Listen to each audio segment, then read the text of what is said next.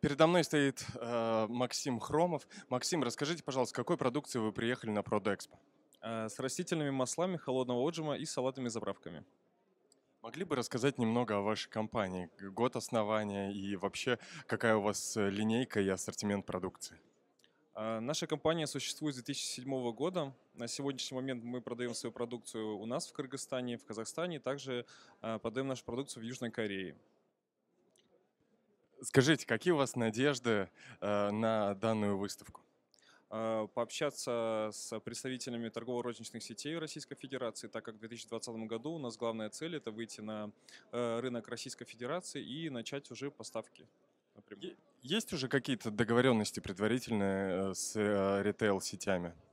А На сегодняшний момент есть договоренности с интернет-магазинами и еще с одной сетью из Норильска.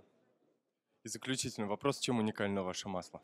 А, Наше масло уникально э, тем, что мы используем преимущественно дикорастущее сырье, а, которое ничем не удобряют искусственными какими-то добавками и так далее. То есть это а, сырье, которое произрастает либо в лесу, либо высоко в горах, либо в долинах э, высокогорных озер и так далее, чем, в принципе, славится а, наша страна.